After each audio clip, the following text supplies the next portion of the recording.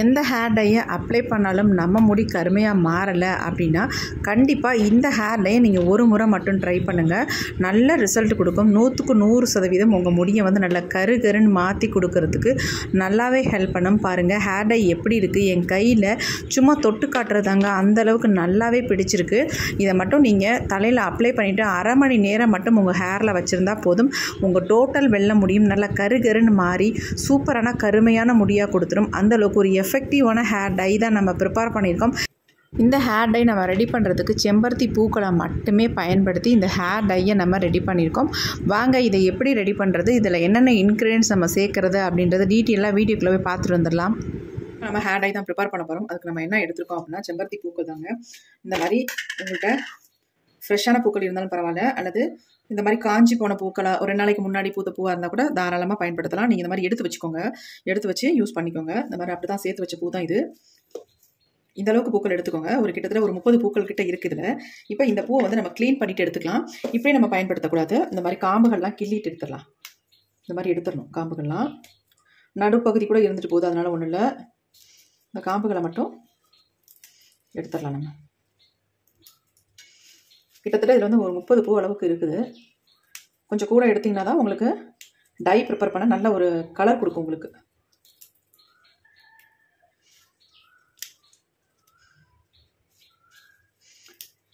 காம்புகளோட போடுறதுனால ஒன்றும் இல்லை நமக்கு வந்து அரையாது. அதனால தான் இந்த காம்புகளை எப்பயுமே எடுத்துடணும் அடிப்பகுதியில். இப்போ நம்ம எல்லாத்தையுமே எடுத்தாச்சு. இந்த பூக்கள் அப்படி இருக்கட்டும். அடுத்து நம்ம ஒரு மிக்சி ஜார் ஒன்று எடுத்துக்கலாம். இப்போ நம்ம இதில் என்ன ஆட் பண்ண போகிறோம் அப்படின்னா நெல்லிக்காய் பொடி தாங்க ஆட் பண்ண போகிறோம் ஒரு ஸ்பூன் அளவுக்கு நெல்லிக்காய் பொடி எடுத்துக்கோங்க. அதிகமாக கூட நீங்கள் எடுத்துக்கலாம் அதனால் ஒன்றும் இல்லை. அடுத்து நம்ம இதில் ஆட் பண்ண போகிறது கரிசலாங்கண்ணி பொடி தாங்க ஆட் பண்ண போகிறோம் அதாவது வெள்ளை கரிசலாங்கண்ணி பொடி. அந்த பொடியை தான் ஆட் பண்ணுறோம் நெல்லிக்காய் பொடி ஒரு ஸ்பூன் கரிசலாங்கண்ணி பொடி ஒரு ஸ்பூன் ஆட் பண்ணியிருக்கோம் உங்கள் முடியோட அளவுக்கு தகுந்தது மாதிரி இந்த பொடிகளை வந்து ஆட் பண்ணிக்கோங்க. அடுத்து நம்ம செம்பருத்தி பூக்களை இதில் வந்து ஆட் பண்ணிக்கலாம். செம்பருத்தி பூக்களை இந்த மாதிரி நல்லா வாஷ் பண்ணிவிட்டு உள்ளே ஆட் பண்ணிக்கோங்க. ஃப்ரெஷ்ஷான பூவாக இருந்தாலும் ஏதாவது பூச்சி தூசி இந்த மாதிரி ஏதாவது இருக்கும். அதனால் இந்த மாதிரி நல்லா வாஷ் பண்ணிக்கோங்க. ஏன்னா நம்ம முடிக்கு பயன்படுத்த போகிறோம் இல்லையா? அதனால் எப்பயுமே வாஷ் பண்ணிக்கிறது நல்லது. வாஷ் பண்ணி நல்லா பிழிஞ்சிட்டு இதை வந்து உள்ளே ஆட் பண்ணிக்கலாம். இப்போ நம்ம எல்லாத்தையுமே ஆட் பண்ணியாச்சு. இப்போ இதை அரைக்கிறதுக்கு கொஞ்சமாக தண்ணி ஊற்றி இதை நல்லா பேஸ்ட் மாதிரி அரைச்சி எடுத்துக்கலாம். நல்லா நைஸாகவே நீங்கள் அரைச்சி எடுத்துக்கணும். இப்போ நாம் இதை அரைச்சி எடுத்துகிட்டு வந்துடலாம். இப்போ நாம் அரைச்சி எடுத்துகிட்டு வந்தாச்சு. பாருங்கள் எப்படி அரைச்சி எடுத்துருக்கோம் அப்படின்னு. நல்லா ஒரு திக்காக இருக்குது பாருங்கள் பார்க்குறதுக்கு கலர் பாருங்கள் எப்படி இருக்குன்ட்டு. நல்லா பிங்க் கலரில் இருக்குது நம்ம கரிசலாங்கண்ணி நெல்லி பொடியும் எதுக்கு ஆட் பண்ணோம் அப்படின்னா நல்லா வந்து கலர் கொடுக்கும். நல்லா கலராக மாற்றி கொடுக்கும். நல்லா பிளாக் கலருக்கு வரும். அதனால தான் நம்ம அந்த ரெண்டு பொடியும் ஆட் பண்ணியிருக்கோம் இது கூட. இந்த மாதிரி நல்லா நைஸாக அரைச்சி எடுத்துக்கணும் நீங்கள் இதை வடிகட்ட முடியாது இல்லையா? ஏன்னா இதில் வந்து இந்த பூக்களை அரைச்சிருக்கிறதுனால ரொம்ப வலுவழுவலுன்னு இருக்கும். அதனால் செம்பருத்தி இலையோ பூவையோ இந்த மாதிரி அரைச்சா வலுவலுன்னு இருக்கிறதுனால அதை வடிகட்ட முடியாது. அதனால் நல்லா நைஸ் பேஸ்ட்டாக அரைச்சி எடுத்தாச்சு. இப்போ அடுத்து நம்ம என்ன பண்ணுறது அப்படின்னு பார்க்கலாம். இப்போ டை வந்து ப்ரிப்பேர் பண்ணுறதுக்கு இந்த மாதிரி ஒரு இரும்பு கடாய் ஒன்று கண்டிப்பாக எடுத்துக்கோங்க. வேறு எதுலையும் ப்ரிப்பேர் பண்ணாதீங்க. இப்போ இதில் வந்து நான் சன்ரைஸ் பாக்கெட் ரெண்டு ரூபா பாக்கெட் இருக்குல்ல அது வந்து ரெண்டு பாக்கெட் அளவுக்கு நான் காஃபி பவுடர் ஆட் பண்ணிக்கிறதுல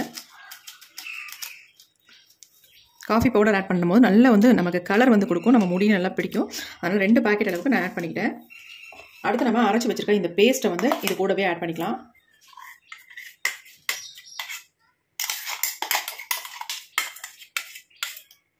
பாருங்கள் எந்த அளவுக்கு நல்லா அரைப்பட்டு வந்திருக்கு. இப்போ ரெண்டையும் நல்லா மிக்ஸ் பண்ணிக்கலாம்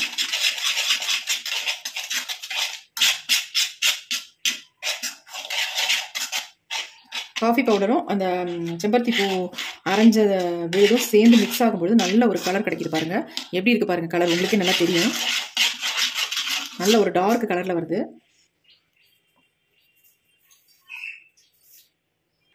இப்போ நம்ம இந்த ஜார்லேயே கொஞ்சம் தண்ணியை ஊற்றி நல்லா கழுவிட்டு உள்ளே ஆட் பண்ணிக்கலாம்.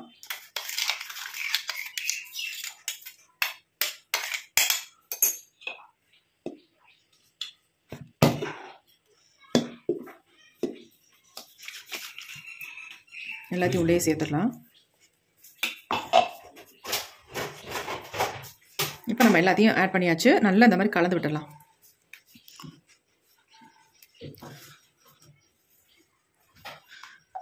நல்லா கலந்தாச்சு. இப்போ நம்ம அடுத்து என்ன பண்ண போகிறோம் அப்படின்னா இதை நல்லா நம்ம சூடுபடுத்த போகிறோம் நல்ல ஒரு திக்கான கன்சிஸ்டன்சி வர வரைக்கும் இதை சூடுபடுத்தி எடுத்துக்கலாம். இப்போ நம்ம இரும்பு கடாயை அடுப்பில் வச்சாச்சு. இப்போ நம்ம ஸ்டவ் ஆன் பண்ணி விட்டுடலாம்.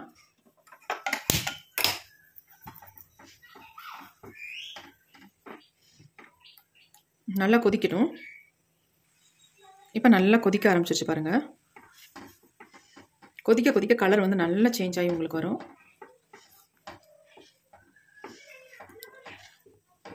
அதுவும் நீங்கள் அந்த இரும்பு கடாயில் ப்ரிப்பேர் பண்ணால் தான் இந்த அளவுக்கு நமக்கு நல்ல ஒரு கலரும் கொடுக்கும்.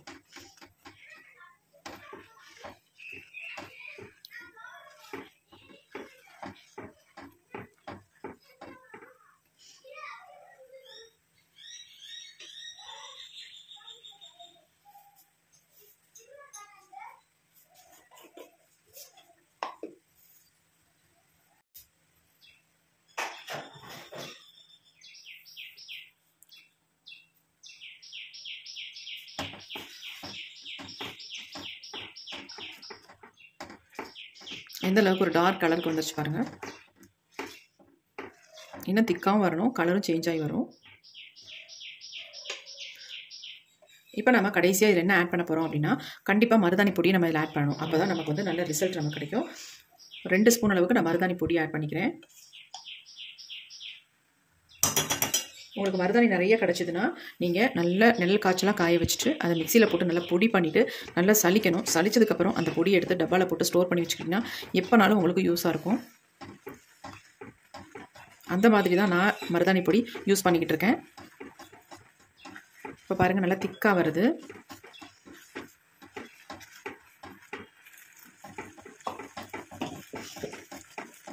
நல்லா கொதிக்க கொதிக்க திக்கான கன்சிஸ்டன்சியாக மாறிடுச்சு பாருங்கள்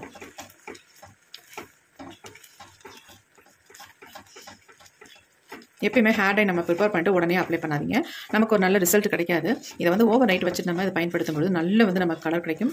குறைஞ்சது ஒரு அஞ்சு மணி நேரமாவது இதை வந்து நம்ம அப்படியே ஒரு மூடி போட்டு மூடி வச்சிடணும். அப்போ தான் நல்ல அந்த அயனோட கண்டென்ட்லாம் நல்லா இறங்கி நமக்கு நல்ல ஒரு கலர் வந்து சேஞ்ச் பண்ணி கொடுக்கும். தேவைப்பட்டதுன்னா நீங்கள் மருதாணி பொடிக்கு பதிலாக தாராளமாக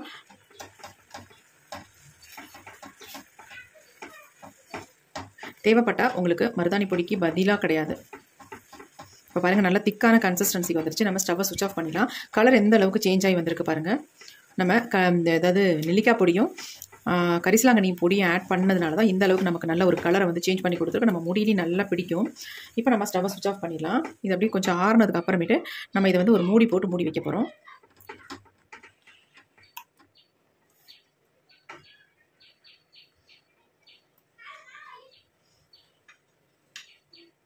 இப்போ நம்ம டை வந்து சூப்பராக ஆறிடுச்சு.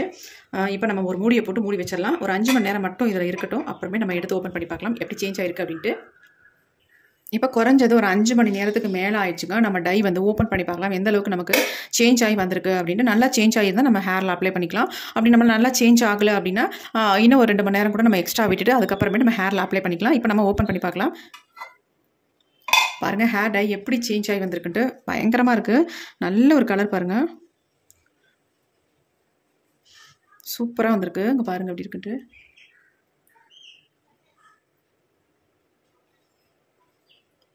நல்ல மை மாதிரி இருக்குங்க கையில். தொடும் பொழுது அவ்வளோ ஒரு சாஃப்டாக ஸ்மூத்தாக இருக்குது சூப்பரான ஹேர் டை ரெடி பண்ணியிருக்கோங்க அதேமாரி நம்ம முடியிலையும் அந்தளவுக்கு சூப்பராக பிடிக்குங்க பாருங்கள் எந்த அளவுக்கு கலர் கொடுத்துருக்கு அப்படின்ட்டு என் கையில் எப்படி பிடிச்சிருக்கு பாருங்கள் இங்கே பாருங்கள் செம்மையான ஹேர் டை ரெடி பண்ணியிருக்கோம்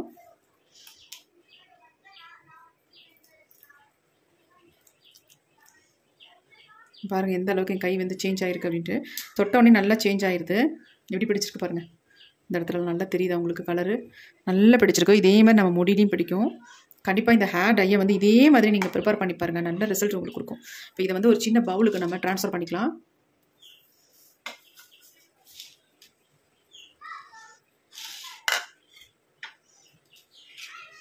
நல்லா ஹேர் டையும் எடுத்து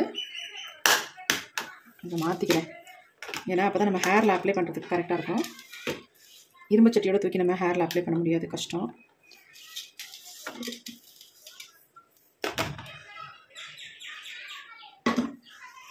ஹேர் டை பாருங்கள் எவ்வளோ சூப்பராக நமக்கு வந்திருக்கு. ஒரு எக்ஸலண்ட்டான ஹேர் டை தான் நம்ம ரெடி பண்ணியிருக்கோம். என் கை பாருங்கள் எந்த அளவுக்கு நல்லாவே சேஞ்ச் ஆகிருக்கு செம்மையாக பிடிச்சிருக்குங்க. அந்த அளவுக்கு ஒரு சூப்பரான ஹேர் டை தான் நம்ம ரெடி பண்ணியிருக்கோம். கண்டிப்பாக இதை வந்து நீங்கள் ட்ரை பண்ணுங்கள் ட்ரை பண்ணி பார்த்துட்டு உங்களுக்கு எப்படி வந்துச்சு ரிசல்ட் அப்படின்னு கண்டிப்பாக என்னோட ஷேர் பண்ணிக்கோங்க. ஏன்னா இப்படி ஷேர் பண்ணும்பொழுது மற்றவங்களுக்கும் இந்த ஹேர் டை வந்து யூஸ்ஃபுல்லாக இருக்கும். அவங்களும் நான் அதை பார்த்துட்டு அவங்களும் ப்ரிப்பேர் பண்ணி அவங்க ஹேரில் அப்ளை பண்ணுவாங்க. அந்தளவுக்கு ஒரு சூப்பரான ஹேர் டையாக ரெடி பண்ணியிருக்கோம் நல்லா திக்கான கன்சிஸ்டன்சியில் இருக்குது இந்த மாதிரி இருந்தால் தான் நம்ம முடியில் ஒட்டும். ரொம்ப லிக்விடாக இருந்தால் கண்டிப்பாக நம்ம முடியில் வந்து ஒட்டவே ஒட்டாது. இந்த மாதிரி திக்காக பேஸ்ட் மாதிரி இருக்கணும். இப்போ பார்க்குறதுக்கு நல்ல பேஸ்ட் கன்சிஸ்டன்சியில் தான் இருக்குது இந்த மாதிரி ரெடி பண்ணிக்கோங்க. கண்டிப்பாக இதை வந்து நீங்கள் ட்ரை பண்ணுங்கள் நல்ல ரிசல்ட் கிடைக்கும். இதை வந்து எல்லாருமே பயன்படுத்தலாம். பெரியவங்க தான் அப்படின்றதுல இளநரைகள் உள்ளவங்களும் தாராளமாக இதை வந்து பயன்படுத்தலாம். நம்ம இதில் வந்து அவரி பொடி ஆட் பண்ணவே கிடையாது. நம்ம ஒன்லி மருதாணி பொடி மட்டும்தான் ஆட் பண்ணியிருக்கோம் அதனால் ட்ரை பண்ணுங்கள் ட்ரை பண்ணி பார்த்துட்டு எப்படி இருந்துச்சுன்னு கமெண்ட்லாம் கமெண்ட் பண்ணுங்கள் thank you friends see you bye bye next வீடியோவில் பார்க்கலாம்.